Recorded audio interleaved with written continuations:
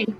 Today we're going to talk about science fiction and fantasy as it relates to literature, movies, and television shows of the past. And we are going to make a paper pinwheel craft. Um, I have an example of it behind me here. Here's an example of what we'll be making today for our craft. This is our March 2021 online senior library program, and it is brought to you by the Tiffin Seneca Public Libraries Outreach and Extension Department. I'm going to go ahead and get started with our first slide here. So, do you have a favorite science fiction or fantasy book or series? If you do, please comment in the link below and let us know what your favorite book or series is. Mine happens to be Harry Potter. Uh, this, I love the whole series. My favorite book of the series is The Prisoner of Azkaban. We have this book available in the children's department, as well as many items, many different uh, movies. Uh, we have playaways as well, or audiobooks, uh, lots of adult books and children's, and especially YA books or, or young adult books as well that have the genre of fantasy or science fiction. So let's talk a little bit about the history of sci fi and fantasy. Sci fi and fantasy are genres concerned with the supernatural, fantastical, or other elements beyond our current technology. Sci fi and fantasy were born in ancient times, but not fully developed until later. Some of these literary examples are the Epic of Gilgamesh, um, the Odyssey, Arabian Nights, and 20,000 Leagues Under the Sea. Science fiction fantasy truly came into its own after the Industrial Revolution and really boomed in the 20th century. And this is because it was a time when science, technology, and society were changing so rapidly that many began to think that society might just collapse. Um, science fiction fantasy evolved as a powerful way to speculate about how technology would develop, how society would change, and how extraordinary events would affect us as humans. So, some early influences for science fiction fantasy, that those two genres. Um, Sir Thomas More's book Utopia. So he wrote Utopia in 1516 which was a forerunner of the utopian utopian literary genre. So he was coined, he coined the, the phrase or the word utopia, and it's in reference to an ideal political system in which policies are governed governed by reason. So More showed that poverty, crime, cruel punishments, and distinctions between classes are not in the order of nature, but are man's doing. And that man could equally create a just and happy social order as in the book Utopia.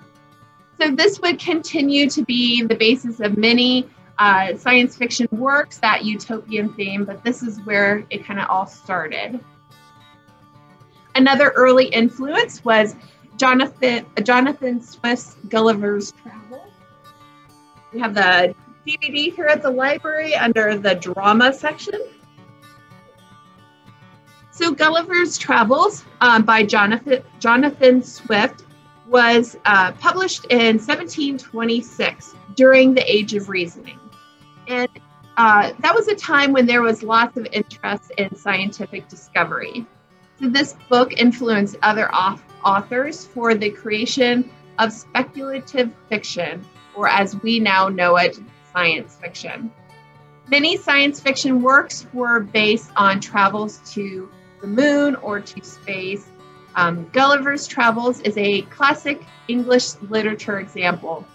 So, in the story, Gulliver he travels to several remote nations of the world in four parts, and during his travels, he gets new perspective into his life.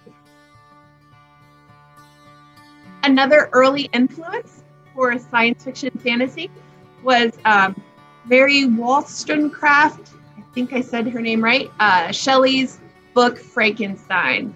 So, one of the most important works that shaped modern science fiction genre was this 1818 novel, Frankenstein.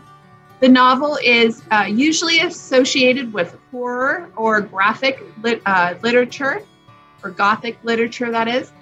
But many historians believe that um, it is the first real science fiction work because the central character, Victor Frankenstein, he attempts to create something that has life out of his scientific experiments. Another one of her works was Roger Dodsworth, The Reanimated Englishman.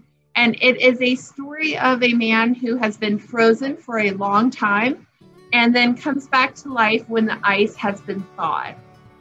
The story was based on real life newspaper report about a man involved in a cryogenic, uh, cryogenic hoax. So Shelley has influenced science fiction even up to today. So, some recognition of science fiction as a literary genre. In the 20th century, science fiction became um, was beginning to be recognized and accepted as a literary genre. It started with pulp fiction magazines or pulp magazines that were immensely popular at the time. And an example of this kind of publication is Amazing Stories. You can see I have two little um, images here of the magazines. They were published by Hugo Gernsback. I think I said that right in 1926. So he coined the phrase scientific, scientification, or as we now know it, science fiction. So, what is pulp fiction? We actually talked about this a little bit when we talked about mysteries and detective mysteries, but it is a term used uh, from the magazines and novels that were printed on cheap pulp paper, and they cost around a dime. In the early 1900s, huge amounts of creative writing were available to the American public. Pulp magazines and fiction ballooned in the 1930s and 40s. Detective and sci fi were popular genres. Uh, World War II brought about paper rationing and increased paper prices. So, pulp fiction was eventually replaced by paperbacks, comic books, televisions, and movies. Some fantasy influences um, The Lion, the Witch, and the Wardrobe, written by C.S. Lewis, gave birth to the current wave of fantasy literature. The Hobbit and The Lord of the Rings are hot, epic high fantasy novels written by J.R.R. Tolkien. Um, also, uh, R.K. Rowling's uh, Harry Potter novels have become the best selling book series of all time. Fantasy is becoming increasingly intertwined with mainstream fiction.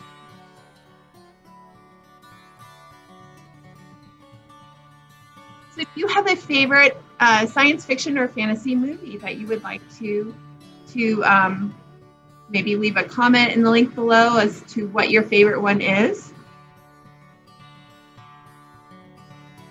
So science fiction made a big successful leap from paper to the big screen. The first film categorized as science fiction was Le Voyage dans, dans la Lune, I believe is how you say it, 1902 by George Méliès. So this uh, science fiction film was the telling of a story of a spacecraft that craft that was launched into uh, the moon and it was done so in a large cannon. The special effects used in the film paved the way for future sci fi films and became a very popular after its release. So, another pioneering sci fi film uh, was, or movie was, the German silent film Metropolis, 1927, by Fritz Lang. Sci fi for television, maybe some of these shows uh, ring a bell, something you watched as a kid or growing up. Uh, science fiction made another leap from movies to television around the 1950s. It was shows like uh, Rocky Jones, uh, Space Ranger, and Space Patrol, as well as Flash Gordon. So, US television has produced uh, Star Trek and its various spin off shows of the Star Trek franchise, as well as Twilight Zone and The X Files, among others. So, uh, science fiction and fantasy in the 1930s and 40s. Films in the 1930s were influenced by the introduction of sound, dialogue, and the effects of the Great Depression.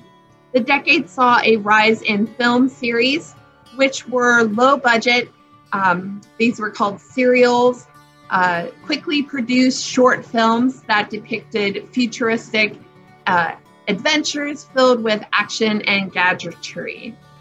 One of the first of these films was a Phantom Enterprise, or I'm sorry, Phantom Empire in 1935.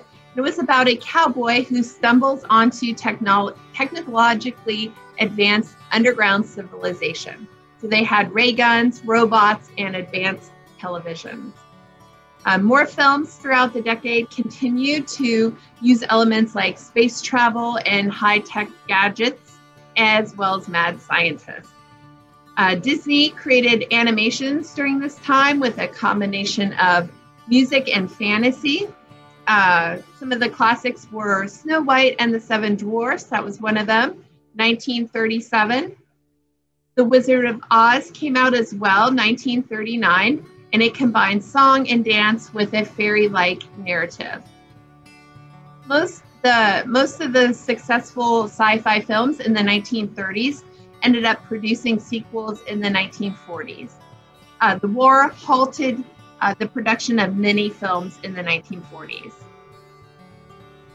So, sci-fi and fantasy in the post-war years and 1950s, developments of the atomic bomb and anxiety about the apocalyptic effects of the nuclear war strongly influenced the sci fi genre during the 1950s.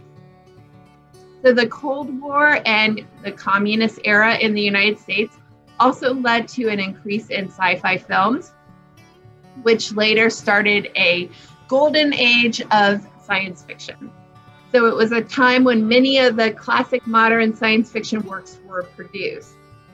One of the most important films during this time was A Destination Moon, 1950, which tells the story of a nuclear powered rocket that brings four men to the moon while competing against the Soviets.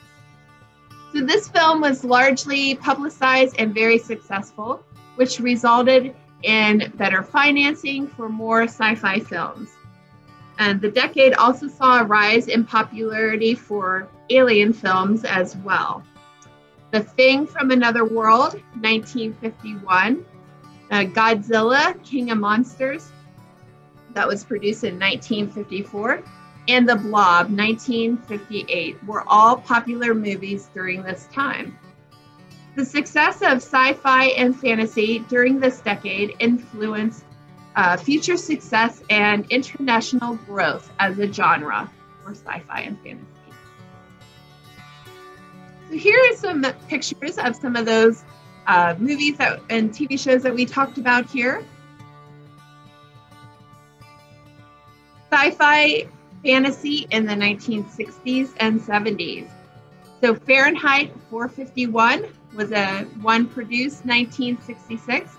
Fantastic Voyage 1966 and Planet of the Apes 1968 were three very popular films in the 1960s. One of the most significant sci fi films during this decade was Stanley Kubrick's 2001 Space Odyssey. So, uh, Space Odyssey was produced 1968. The film tells a story about a voyage to Jupiter with the computer HAL.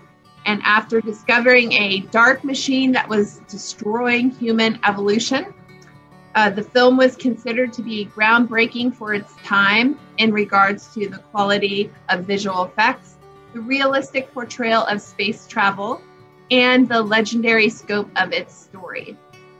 After this film was released, sci fi films that followed would have larger budgets and improvements in special effects.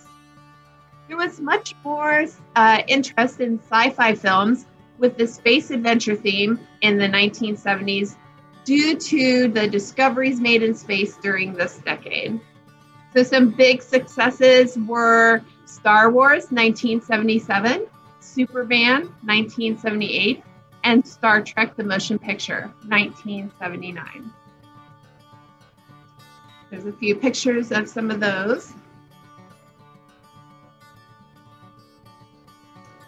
Sci fi and fantasy in the 1980s and 90s.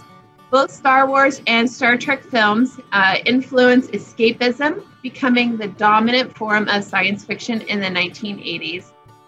The distinction between science fiction, fantasy, and superhero films became blurred. Uh, every year during this decade saw at least one major sci fi or fantasy film release. The decade also saw a growth in animation, which acted as a great medium for sci fi films. This was mostly successful in Japan, where their anime started. So Steven Spielberg's uh, E.T. Extraterrestrial was made 1982. It was one of the most successful films of the decade. In the 1990s, uh, cyberpunk became popular. It was a subgenre of science fiction, and it basically had futuristic settings that uh, featured advanced technology. And the creation of the internet had a lot of influence as well on sci fi. Um, one such film is The Matrix, 1999. There's some pictures of some of those movies. It's Back to the Future, we didn't mention that one, and Jurassic Park as well. So, sci fi and fantasy and 2000s. During this decade, films turned away from space travel and turned more towards fantasy themes. The blockbuster success of several film uh, adaptations of fantasy novels, such as Lord of the Rings and The Lion and the Witch and the Wardrobe, has helped further pop, uh, popularize the fantasy movies. So, science fiction, fantasy films has transformed over the past century, and with the advancement of technology, special effects, and backgrounds, modern science fiction and fantasy films look more realistic and believable than ever. Okay, that's all I have for you on science fiction and fantasy. I'm going to show you some examples of what we have at our library if you are interested in visiting our library and checking some of the materials out. Uh, we will go on to our craft next, and we will be making these paper pinwheel uh, craft here. So the items you'll need for this are uh, sewing pens with colorful plastic pens. I have an example of some of these here on this little pin cushion. So um, if you have the, see here, the little colorful ends, that really helps out a lot. So some of those sewing pins. Uh, wooden dowel rods or a maybe a new pencil with a nice eraser if you don't have dowel rods available a lot of these things you can um, just use what you have around your house. You don't have to go out and buy anything special to make these pinwheels. Uh, decor- decorative colored paper. So for these, you can use um, like floral paper on one side. It was kind of stripes, and the other side floral. Um, but you can use any kind of paper. It can be any kind of uh, colored paper. It can be construction paper.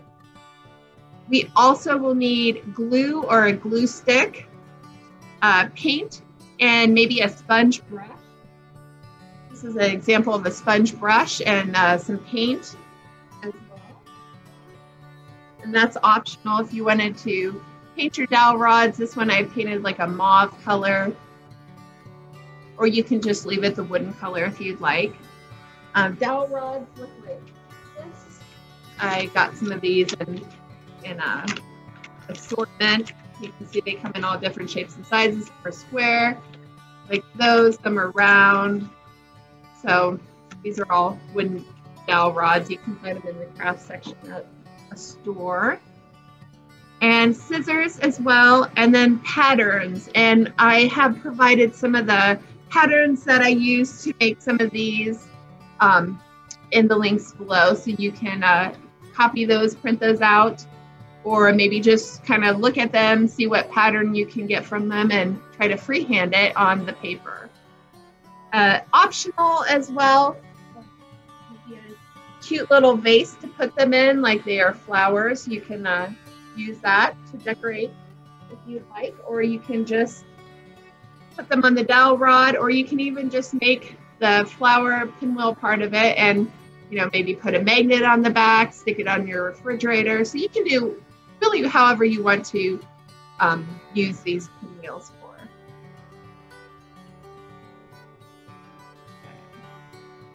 I'm going to stop sharing my screen here so I can show you some of the items available at our library. We have lots of exciting and fun sci-fi movies at the library. They're in the sci-fi section, and this one's the new Star Trek movie. So they made the old Star Trek movies, but then they came out with a new series.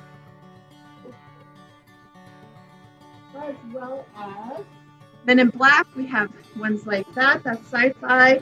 Uh, drama, The Shape of Water. That's a fantasy movie. We have all of the Star Wars movies available at our library, as well as the new ones that have come out. And ones like this. A lot of the family in the family movies, sometimes you'll find like Night at the Museum, something fun like that in the fantasy genre. And we have a lot of great books. We have a lot of great books for kids, like Magic Treehouse series for younger readers, or this call for um, A Tale of Magic. We have, you know, the Twilight series for YA. One of my favorite uh, books that I read, uh, the Diverg- Divergent series. Um, Veronica Roth wrote this. This is in the YA section here. It has a science fiction uh, label on the side. We also have the movies. So we have a lot of uh, sci-fi and fantasy available at the library. If you have any questions, just uh, ask at the information desk. They'll be happy to point out where these items are, are located on the stacks. So that's all I have for you today, and I just want to say thank you for joining us, and I hope you enjoy our craft, and I'll see you next month. Hi. Today we're going to uh, go ahead and get started on our outreach craft. And we are making these pinwheels here, these paper flower looking pinwheels. This is our fun March craft that we're going to do, and it kind of reminds us of spring. Maybe the flowers aren't blooming quite yet, but um, gets us in the mood for spring. And the first thing you'll need to make these are you'll need decorative paper. This is the kind of paper that I um, ended up purchasing, but you don't have to go out to a store and buy paper. You can use any colored paper at all. I did choose to do this kind of paper because it had it was two-sided and it had pretty flower patterns in the front and a different pattern on the back. And that's how most of these pages are. They have two-sided to the different decorations there. Then you'll need a pattern, and I've included these on the link for you to print out as you like. Um, there's this pattern, and that one actually produced this one right here. We also have this pattern right here, which is the little bumpies on the edges. That one produced this pattern here. We have this pattern as well. And that one produced the smaller one, the mauve one. And our last pattern was this one. And I had to cut out six of those and attach them. That was actually the first pinwheel that I tried to make. So when you get your pinwheels finished, you can put them maybe in like a vase like this, or if you didn't want to attach them to like a dowel rod, is what I have here, but um, you could also use a pencil and you could attach it even just with a push pin through the eraser of a pencil. It's one thing you could do. Or you could just use a little uh, braid there like this and you can push it through and you don't have to attach it to anything. It could just be a pretty flower that you put on your refrigerator or you could put it somewhere else as a decoration. So you don't have to make a pinwheel that's functional and actually spins around, but if you would like to, I will show you how to do that. So our first step is, um, this is a different pattern I have here. This one right here. So we're gonna cut out that pattern. And then we're gonna place it on a piece of colored or decorative paper. And we're gonna cut it out. So I'm gonna do that. Pause it right here till I'm done. Okay, so I have taken my design, cut it out, and I put it on my paper here and I traced it either with a pencil or you can just hold it on and kind of freehand cut it out. And then you get your, you have to do that twice and you get your two patterns. So then you're going to take your patterns and you're going to take the tip here and you're going to fold it in. And you're going to do that to each flower. So you're going to fold that one in and then you're going to fold this one in. And so when you get done, you get three petals of a flower. So you'll have to do the same to this one as well. You'll fold this in. And then you're going to superimpose the two, one on top of the other, and it's going to make this beautiful little flower pattern here. Now, uh, you wouldn't have to use glue if you didn't want to. You could just take your safety pin and push through those edges. But um, I am going to use a little bit of um, a glue stick and just use some glue to keep the edges down and to keep them firm. And then to glue the two on top of each other. So I'm going to do that next. Okay. So I have the two patterns here. I ended up uh, putting them one on top of the other, folding the inner ones first and then folding the outer ones just kind of on top of it here. So you can see the outside is black I folded the outside up and over after I had folded the, the inner one. So here you get a nice flower pattern and it shows two different patterns. It's on the back side, it's the pink and the black, and on the inside, it's the two different flower patterns. So your next step will be um, basically how you want to attach it.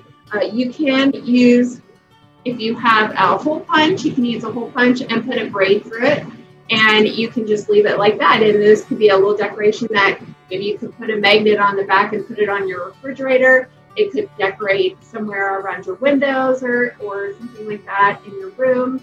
Um, or you could just uh, do it the way I did to make a pinwheel. And so then you would need one of these little bobby pins, I guess is what you would call them. They're for sewing. They have the decorative top so I'm going to get one that kind of matches. I'm going to use, I think, a pink one here. And you will just poke it through in the center.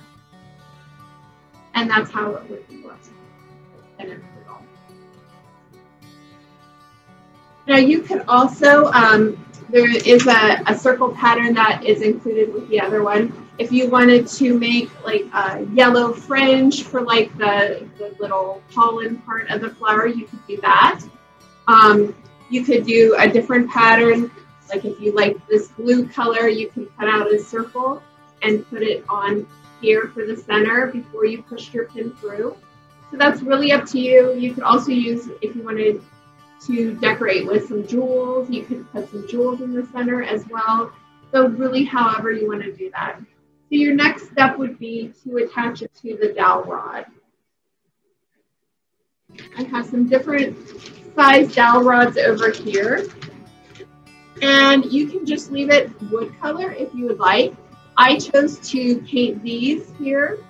Um, so if you wanted to have some like acrylic paint um, and you wanted to take like a little paintbrush and just kind of brush on some color to make it a different color stem you can. But as I said, you don't have to. And you can use different things. Like it's a lot easier to push this pen through an eraser.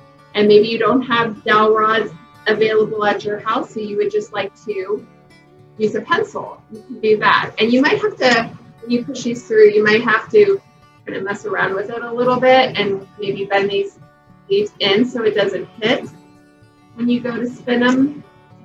But there is just using using a pencil you can use, or you can push it using the dowel rod. Just be careful because it is hard to get the, the pin into the wood. And um, you know, you can decide how you want to center it, if you want it right at the top or if you want it down a little bit. But once you push it in, it'll just go around like that and you'll be all set to go. And if you wanted to, you could add some decorative leaves. I didn't put any leaves on here, but you could put some leaves. You could do it the same color as maybe the backside of one of your flowers. You could do it green, like, like an actual stem. So whatever you wanted to do.